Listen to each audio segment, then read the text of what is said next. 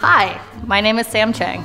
I am a biodiversity scientist here at the American Museum of Natural History, and I study cephalopods. What do you need to know about these amazing creatures that include octopus and squids? Well, let's start with the ABCs. A is for arms. Octopus have eight arms, not tentacles as many people think. Arms have suckers all the way up, whereas tentacles just have them at the ends. B is for belemnites. These extinct cephalopods look kind of like squid, but they had a hard shell, and they lived from about 230 million years ago to 70 million years ago. C is for cephalopod, of course. Cephalopod means head foot in Greek because of the way that cephalopods' heads attach directly to their arms. The basic layout of a cephalopod has two eyes, a mantle, a funnel or a siphon, and at least eight arms. D is for Decapodiformes. This is a group of cephalopods that includes squids, cuttlefish, and those extinct belemnites. Deca means 10, which makes sense because these critters have eight arms and two tentacles. E is for external shell. Ancient cephalopods used to have an external shell around their body. Today, modern cephalopods don't have that shell except for Nautilus and Allonautilus. F is for the flamboyant cuttlefish. This super charismatic cephalopod has flattened arms and super bright colors to warn potential predators that it's actually poisonous and they shouldn't eat it. G is for gladius. This is an internal shell that some cephalopods have. It gets its name from an ancient Roman short sword that it kind of resembles. An example of a gladius is the cuttlebone of a cuttlefish. H is for Hectocotylus. This is a specialized arm in male cephalopods that's designed for delivering packets of sperm.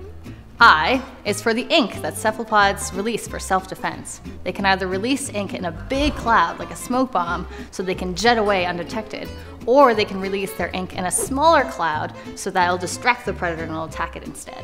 J is for jet propulsion. Cephalopods move by sucking water in through their mantle and shooting it out of their siphon. They use this to do things like make quick getaways and to capture their prey. K is for the Kraken. This legendary sea monster terrorized sailors, and it's thought that it was inspired by the real-life giant squid, which can grow up to 40 feet long.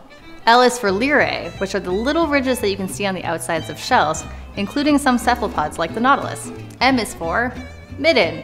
Some octopus species like to eat their prey inside a shelter, like under some rocks, and they discard leftover bits of their prey around the entrance. Over time, this builds up, and this pile of debris is called a midden, and it's also sometimes called the octopus's garden. N is for nautilus. Nautilus are considered to be living fossils because they've been around for over 500 million years. They have a hard outer shell and lots and lots of little cirri instead of arms and tentacles. Even though Nautilus have been around for so long, they're actually at risk of extinction today because of overcollection of their shells. Oh, is for some fun facts about octopuses. They have three hearts, they are masters of camouflage, and the correct plural form of octopus is octopuses, not octopi. Sorry. P is for photophores. Some cephalopods have a special light organ that's bioluminescent. Species like the firefly squid can even do different light displays with this organ that can be used to communicate with potential mates and to distract predators. Q is for quiet, because cephalopods don't make a lot of noise.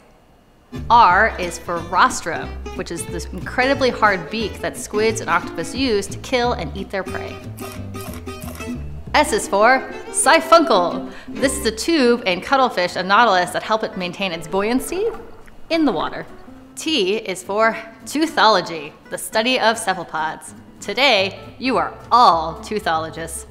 U is for umbilicus, which is a hollow space that you sometimes see at the center of the whorls of a nautilus's shell. Umbilicus is also the official term for our belly buttons. V is for vertebrae. Just kidding, cephalopods don't have any. W is for wonderpus. This is a species of small-bodied octopus that lives in the Indo-Pacific Ocean. It's known for its ability to mimic other sea animals. X is for xanthophore. This is a type of cell that helps cephalopods change the color of their skin to camouflage with their surroundings. This is actually a type of chromatophore cell, which are cells that contain pigment or help reflect light. Y is for why? Why are we doing this? Cause cephalopods are cool. Z is for zebra display, which is what some squid and cuttlefish use to attract a mate or hunt for prey. For example, the giant Australian cuttlefish displays a rapidly changing zebra pattern on its skin to intimidate other males while it's courting a female. There you have it, the ABCs of cephalopods. And this is just the tip of the iceberg of intriguing knowledge that we have about these amazing animals that are important parts of our oceans and of our lives. Thanks for watching with me. Subscribe to the American Museum of Natural History's YouTube channel to watch more cool videos like this one. Click up to watch the Cephalopod Week playlist. YouTube, whatever, YouTube channel, YouTube website. all you people who watch social media, read a book.